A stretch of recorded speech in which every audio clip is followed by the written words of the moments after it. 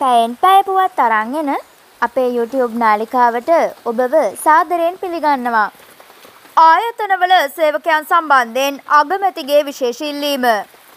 සේවකයන් ඉවත් කිරීම වෙනුවට ඔවුන් රැකගනිමින් මෙම වසංගත තත්ත්වය හමුවේ මුහුණ පා ඇති අභියෝගවලට මුහුණ දෙන්නයි අග්‍රාමාත්‍ය මහින්ද රාජපක්ෂ මහතා සියලුම කර්මාන්තකරුවන්ගෙන් සහ ව්‍යාපාරිකයන්ගෙන් ඉල්ලීමක් කර තිබේ. අග්‍රාමාත්‍ය මාධ්‍ය ඒකකයේ විසින් නිවේදනයක් නිකුත් කරමින් මේ බව සඳහන් කර ඇත. ශ්‍රී ලංකා ඇඟලුම් සන්නාම සංගමය සහ ශ්‍රී ලංකා සිල්ලර වෙළඳුන්ගේ සංගමය මුහුණ පා ඇති ගැටලු සම්බන්ධයෙන් වූ සාකච්ඡාවක් අරලියගහ මන්දිරයේදී පැවති අවස්ථාවේදී අගමැතිවරයා එම අදහස් පළ කර තිබේ.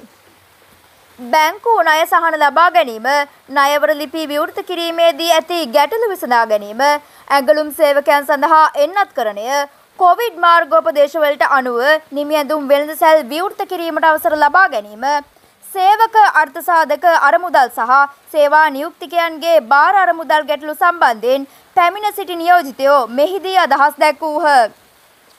පාස්කු ඉරිදින ත්‍රස්ත ප්‍රහාරය සහ කොවිD-19 ගෝලීය වසංගතය හේතුවෙන් දැනට මාස 24කට ආසන්න කාලයක් සිය ව්‍යාපාර කටයුතු අඩපණ වී ඇතැයි පෙන්වා දුන් එම නියෝජිත පිරිස ව්‍යාපාර සහ වෙළඳාම් පවත්වා ගැනීම සඳහා මුදල් අමාත්‍යංශය ඔස්සේ හදිසි සහන ලබා දෙන්නැයි අගමැතිවරයාගෙන් ඉල්ලීම් කර තිබේ.